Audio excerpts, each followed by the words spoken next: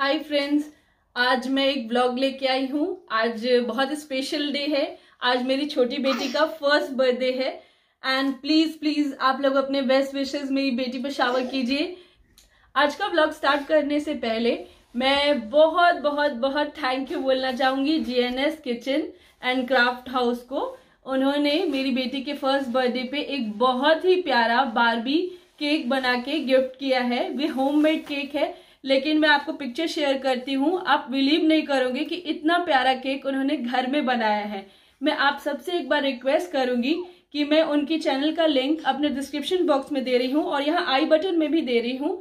आप प्लीज़ उनके चैनल पे जाइए। वहाँ पे वेजिटेरियन रेसिपीज़ जो हैं वो अवेलेबल हैं। क्विक एंड इजी एंड उसमें जो इंग्रेडिएंट्स यूज़ होते हैं वो इजीली आपको लंदन में यूके में अवेलेबल रहेंगे। तो एक बार ज़रूर उनके चैनल को विज़िट कीजिएगा। थैंक यू एक बहुत छोटा वर्ड है। उन्होंने जितना प्यारा गिफ्ट मेरी बेटी के लिए दिया है। स्टिल थैंक्स अ लॉट आप देख सकते हैं ये बाबी केक जो है घर में बनाया है। आ, उन्होंने और ये बहुत ही प्यारा है।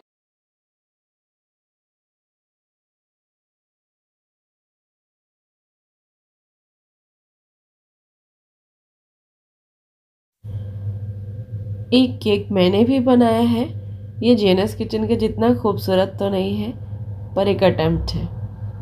ये मेरी नन्ही परी केक खाते हुए, ये केक मैंने स्मैश केक के लिए रख दिया था। सी कितनी हैप्पी है ये। अच्छा लग रहा है। ये अम्मी है